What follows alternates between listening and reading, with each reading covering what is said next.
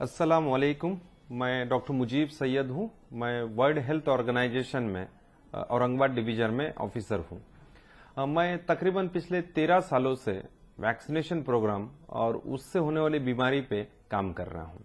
मैंने हिंदुस्तान के सभी रियासतों में और हिंदुस्तान के बाहर काफ़ी मुल्कों में भी वैक्सीनेशन प्रोग्राम के लिए काम किया है। आज मैं आप सब लोगों के साथ एक अहम मसले पे बात करना चाहता हूँ।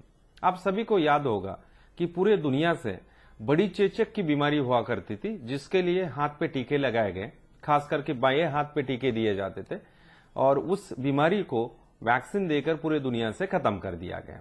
उसके बाद पूरी दुनिया ने फैसला लिया कि पोलियो का जो मर्ज मर्ज है, उसके लिए पोलियो के टीके लगाए गए, और पोलियो की बीमारी का भी, अल्हम्दुलिल्लाह, अभी निन्यानवे फ़ीसदी मुल्कों से पोलियो को खत्म कर दिया गया है। उसके बाद पूरे दुनिया ने बैठ के फैसला लिया कि अगली दो बीमारी होगी, जिसको खसरा और रुबेला की बीमारी कही जाती है, उस बीमारी को खात्मे के लिए दुनिया के हर वो मुल्क कोशिश कर रहे हैं। इसमें हमारे मुल्क हिंदुस्तान में भी फरवरी 2017 से खसरा और रूबेला खात्मे के लिए वैक्सीनेशन मुहिम चलाई जा रही है, जिसके तहत हर वो नौ महीने से लेकर पंद्रह साल तक के बच्चों को खसरा और रूबेला का टीका दिया जा रहा है। आप सभी जानते हैं कि गोबरी की जो बीमारी है जिसमें मौतें बहुत ज़्यादा होती है खास करके गोबरी ठीक होने के बाद बच्चों को न्यूमोनिया दस्त या फिर कभी कभी दिमागी बुखार हो जाता है और जिससे बच्चों की मौतें बहुत ज़्यादा होती है।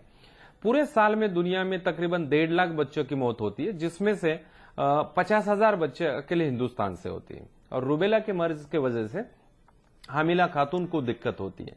अबॉर्शन हो जाना मरा हुआ बच्चा पैदा हो जाना या फिर जिस्मानी और दिमागी तौर पे अ, एक माजूर बच्चा पैदा हो जाता है, जो जिस बच्चे के अंदर रूबेला सिंड्रोम हो जाए, उसको दिमागी तौर पे माजूर होगा, बच्चा अंधा हो सकता है, बहरा हो सकता है, उसको दिल की बीमारियाँ भी हो सकती है।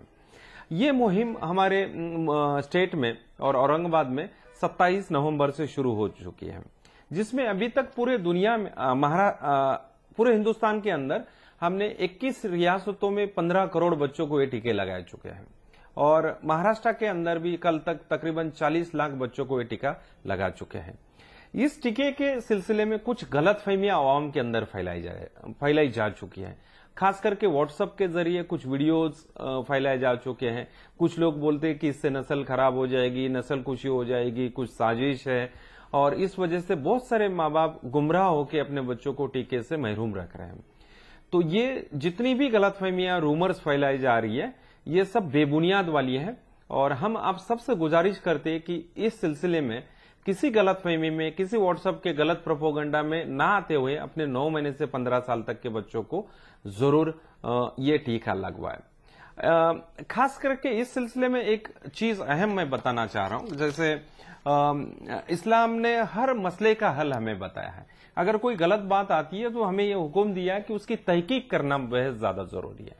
तो हमारे दीगर जो उलमा किराम है, जो हमारे मुस्लिम डॉक्टर्स हैं, हमारे जो पॉलिटिशियंस हैं इन तमाम लोगों ने इसकी वजाहत की है और अवाम के लिए पैगाम दिए है कि ये लेना बेहद ज़्यादा ज़रूरी है। कुछ चीज़ें मैं आपको दिखाना चाहता हूँ, जैसे दारुल उलूम देवबंद है, इन्होंने अपनी तरफ़ से पैगाम दिया कि ये लेना बेहद ज़्यादा ज़रूरी है। दूसरे, अला हज़रत साहब की दरगाह शरीफ है। जिनकी तरफ़ से अपील आई है कि ये लेना बेहद ज़्यादा ज़रूरी है। दूसरी, जमेतुल उलमा महाराष्ट्र की है, उनकी तरफ़ से अपील भी आ चुकी है। जी। तीसरी जमात इस्लामी है, इनकी तरफ़ से भी पैगाम आ चुका है। जामिया निजामिया है, जो हैदराबाद का बहुत बड़ा मरकज है, इन्होंने भी अपनी तरफ़ से पैगाम दे चुके हैं। खालिद सैफुल्ला रहमानी साहब इनका भी पैगाम इस सिलसिले में आया है कि टीका लेना बेहद ज़्यादा ज़रूरी है। अ, हमारे मौलाना वस्तानवी साहब हैं इनके बहुत सारे मेडिकल कॉलेजेस है बहुत सारे मदरसे हैं। इन्होंने अपनी तरफ़ से अ, अपील की है कि टीका लेना ज़रूरी है। इसके अलावा हमारे जो तमाम डॉक्टर्स हैं खास करके ये पूना के वो पाँच डॉक्टर्स हैं इन्होंने ये वैक्सीन के बारे में पूरी तहकीकात करके इस वैक्सीन के अंदर क्या है बाकायदा साइन करके अपील दी है कि ये वैक्सीन सेफ़ है सिर्फ़ बच्चों के अंदर कुत मुदाफियत बना देगी। ये जामिया हमदर्द है। हमारा मुस्लिम मेडिकल कॉलेज है, वहाँ के डॉक्टरों की ये अपील है। जामिया मिलिया इस्लामिया के डॉक्टरों की अपील है। अलीगढ़ मुस्लिम यूनिवर्सिटी के डॉक्टरों की भी इसमें खास करके अपील है। ये प्रोग्राम की शुरुआत जब हैदराबाद में हुई थी तो हमारे जो असदुद्दीन ओवैसी साहब हैं, उनके हाथ से इस प्रोग्राम की शुरुआत उनके स्कूल में बच्चों को टीका देकर उनके हाथ से की गई थी। और तमाम हमारे जितने मुस्लिम पॉलिटिशियंस हैं, इंशाल्लाह इस प्रोग्राम के साथ जुड़े हुए हैं। आ, मैं आप सभी हजरात से और सभी वालदेन से और सभी स्कूल के टीचर से गुजारिश करता हूँ कि बिना किसी गलतफहमी में आते हुए अपने तमाम बच्चों को जो कि नौ महीने से पंद्रह साल तक के हैं उनको ये टीका ज़रूर